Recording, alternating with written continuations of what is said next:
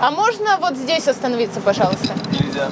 Запретят ли одесским маршрутчикам останавливаться по требованию пассажира? Запретить одесским маршрутчикам высаживать и подбирать пассажиров не на остановках предлагают гражданские активисты. Большинство водителей инициативу поддерживают. Говорят, это значительно упростит работу. Как повлияет запрет на остановки по требованию пассажира на скорость передвижения маршрутки? Как вы думаете? Хорошо повлияет. То есть это ускорит движение? Ускорит, ускорит и будет более внимательнее мы будем.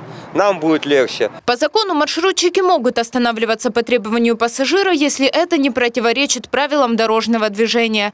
Но желая заработать побольше, некоторые водители все равно нарушают. Специалисты говорят, чтобы отучить маршрутчиков от этого, нужно им платить за количество выездов, а не за количество перевезенных пассажиров. Это, безусловно, создает для пассажира дополнительные удобства.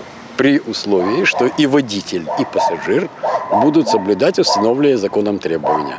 Пассажир не будет выскакивать на перекресток и пытаться остановить там автобус, а водитель не будет из э, левого ряда делать правый поворот и тоже останавливаться на перекрестке, где правилами дорожного движения это категорически запрещено. Некоторые уверены, если одесские маршрутки будут останавливаться только на оборудованных остановках, это поможет сократить расходы и повысит темп движения.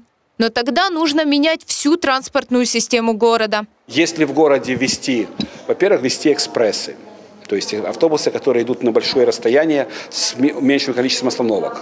Э, ввести систему изменения автобусных маршрутов внутри в центре города, потому что у нас очень, очень неудачно сделана логистика. Она э, совершенно стихийная логистика, особенно в центре движения автобусов.